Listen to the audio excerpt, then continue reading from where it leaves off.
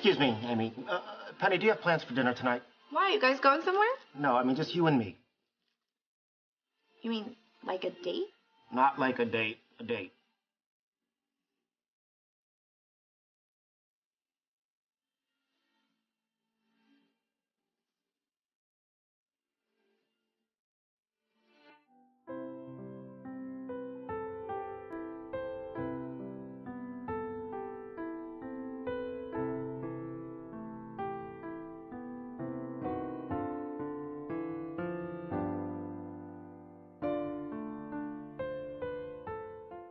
Doesn't make sense.